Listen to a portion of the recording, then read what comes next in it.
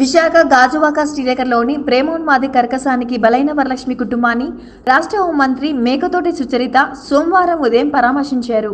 ముఖ్యమంత్రి వైఎస్ జగన్మోహన్ రెడ్డి ఆదేశాలతో పది లక్షల చెక్కును వరలక్ష్మి తల్లిదండ్రులైన పద్మప్రియ గురునాథరావులకు అందజేశారు. ఈ సందర్భంగా మీడియాతో ఆమె మాట్లాడుతూ నేరస్తులు ఎంతటి వారినైనా ఉపేక్షించేది లేదు. మహిళల భద్రతకు వైసీపీ అత్యధిక ప్రాధాన్యత ఇస్తుంది. ప్రేమోన్మాది అఖిల సాయిని అతనికి సహకరించిన వారిని కూడా విచారణ జరిపి కఠినంగా శిక్ష పడేలా చేస్తామని హామీ ఇచ్చారు. ఇప్పటికే ఈ కేసును దిశకు అప్పగించినట్లు తెలిపారు. వరలక్ష్మిని అతి దారుణంగా హత్య చేయడం చాలా బాధాకరమైన విషయమని ఈ సంఘటనను ముఖ్యమంత్రి సీరియస్గా తీసుకొని పోలీస్ అధికారులకు ఇటువంటి సంఘటనలు పునరావృతం కాకుండా చర్యలు చేపట్టాలని ఆదేశించారన్నారు. ప్రభుత్వంలో మహిళలపై అకృత్యాలకు పాల్పడిన వారు ఎంతటి వారినైనా విడిచిపెట్టేది లేదని హోంమంత్రి తెలిపారు.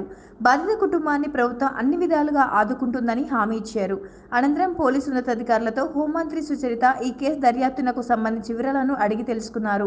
ప్రశాంత విశాఖ నగరంలో ఇలాంటి అలజడులు తావు లేకుండా జాగ్రత్తలు తీసుకోవాలని మహిళల భద్రతకు అత్యధిక ప్రాధాన్యత ఇస్తూ మహిళలు యువతలు పోలీస్ స్టేషన్కు వచ్చి ఫిర్యాదు చేస్తే తక్షణమే వెంటనే స్పందించి న్యాయం చేయాలని పోలీసులకు సూచించారు.